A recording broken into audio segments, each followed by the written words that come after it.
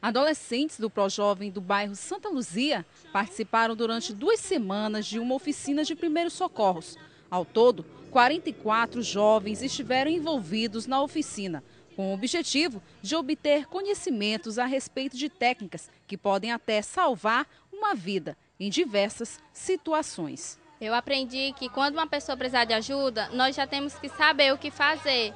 Aprendemos a socorrer quando a pessoa desmaia, quando acontece fraturas, ou quando mesmo até a pessoa está tendo um ataque de epilepsia, que como o professor ensinou. Na atividade de encerramento da oficina, que aconteceu nesta quadra de esportes do bairro, os adolescentes realizaram uma demonstração do que aprenderam durante todos estes dias, através da simulação de um acidente envolvendo ciclistas e motociclistas, acidentes muito comuns na realidade da cidade de Parnaíba. Procedimento que, que requer realmente urgência, o, o SAMU ele demora um pouco a chegar.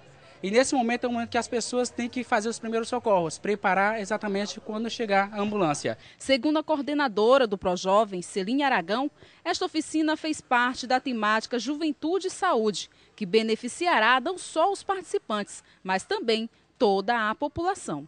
Eles puderam levar para a família deles o que eles aprenderam. E esse é o papel do Projovem Adolescente dentro do município. Trabalhar, consolidar essa questão do, da família com o jovem.